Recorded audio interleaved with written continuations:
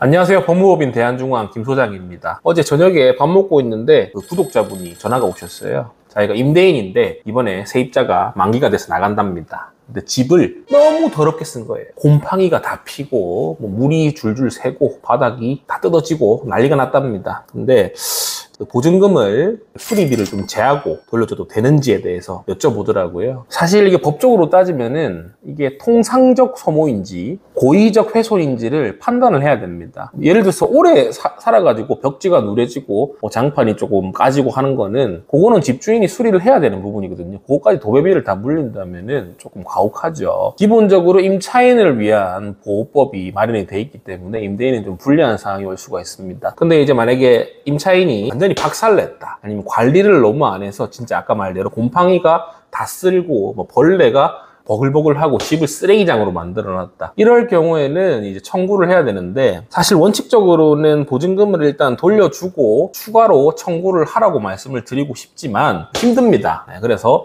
보증금에서 차감을 하고 실제 현장에서는 많이 돌려주거든요. 근데 꼭 인지를 시켜줘야 돼요. 그 임차인한테. 네가 이렇게 이렇게 훼손을 했고 집을 망가뜨려 놨으니까 나는 이 수리비 업체를 불러서 견적을 낸 이 금액만큼 차감을 하고 보증금을 돌려주겠다. 이런 내용 증명이라도 하나 보내놓으면은 조금 크게 분쟁이 안 생기겠지만 임차인 입장에서는 또 자기 나름대로의 주장을 펼치면서 억울해할 수가 있거든요. 그러면은 전세금 반환 소송이 아닌 소액 전세금 반환 소송이라고 다 받지 못한 일부분을 소송을 하는 경우가 생길 수가 있기 때문에 그런 분쟁의 소지가 생기면 서로가 피곤하겠죠. 집주인분도 이 사람을 인지를 시켜줘야 되고 임차인이랑 좀 대화를 해보고 보증금에서 깎으면 깎겠다고 말씀을 하고 진행하는 게 맞는 거지 무턱대고 보증금에서 깎아서 줘버리면은 문제가 될 수가 있습니다. 아까 말씀드린 대로 임차인이 항상 약자라고 생각하기 때문에 보통 이런 게 뭐 법정으로 가면 판례로 가면은 임차인의 손을 들어주는 경우가 많기 때문에 계약서에 어디까지가 원상 회복 범위인지 좀 구체적으로 명시해 놓는 게 좋고요. 서로가 이제 입주하기 전에 꼭 집 상태를 사진으로 남겨서